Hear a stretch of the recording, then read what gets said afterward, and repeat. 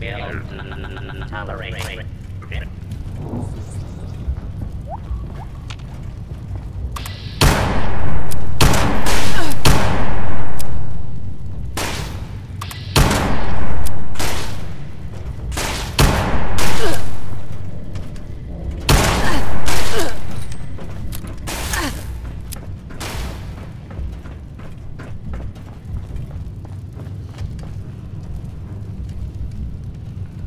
Continued resistance is unlawful.